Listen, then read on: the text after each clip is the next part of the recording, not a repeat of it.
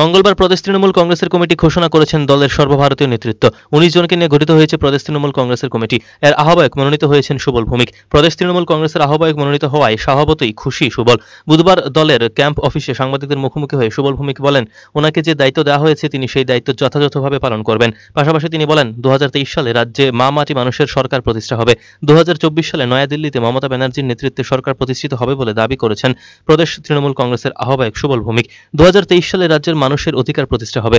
যুব আইকন, অভিষেক ব্যানার্জি যেভাবে ত্রিপুরাকে সাহায্য করছেন, তাতে প্রদেশ তৃণমূলের আহ্বায়ক কৃতজ্ঞ। সুবল ভৌমিক চাইছেন রাজ্যের শান্তি সুভ্রাতৃত্ব নিয়ে একটা সুষ্ঠু সরকার প্রতিষ্ঠা হোক।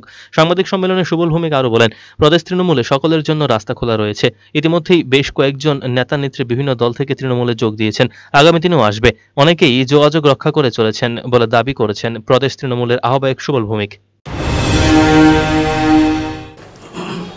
আমাদের মা মাটি মানুষের নেত্রী মমতা বন্দ্যোপাধ্যায়, ত্রিপুরার মানুষের অধিকারের লড়াইয়ে আজকে যেভাবে সহযোগিতা করছেন এবং আমাদের প্রদেশ কমিটি আজকে ঘোষণা দেওয়া হয়েছে, আমাকে যে দায়িত্ব দেওয়া হয়েছে তা আমি পালন করার চেষ্টা করব।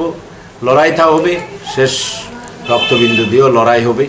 এখানে মা মাটি মানুষের সরকার হবে, গণতন্ত্র প্রতিষ্ঠা হবে, মানুষের অধিকার প্রতিষ্ঠা হবে এবং আমাদের যুব আইকন অভিষেক বন্দ্যোপাধ্যায় যেভাবে প্রতিনিয়ত ত্রিপুরাকে সাহায্য করে যাচ্ছেন, আমরা কৃতজ্ঞ।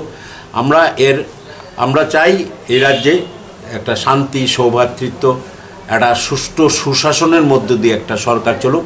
যে অরাজকতা, স্বৈরাচারী চলছে তা বন্ধ হোক। আমা- আমাদের দৃঢ় বিশ্বাস, মা মাটি মানুষের নেত্রী মমতা বন্দ্যোপাধ্যায়ের নেতৃত্বে দু হাজার তেইশে ত্রিপুরায় এবং সারা ভারতবর্ষে দিল্লিতেও মা Video Report Search in the TNN.